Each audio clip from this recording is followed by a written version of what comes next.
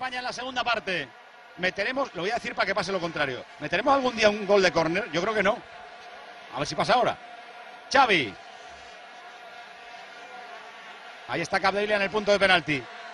La pone Xavi. El balón para Puyol. ¡Gol!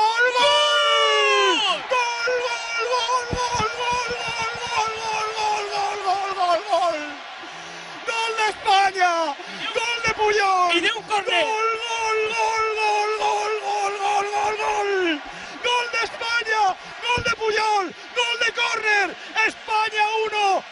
¡Alemania 0! ¡El sueño está más cerca! ¡Dios mío! ¡Qué pedazo de alegría! Quedan 17 minutos. España se lo merecía. Y tenía que entrar un balón de, de córner, hombre.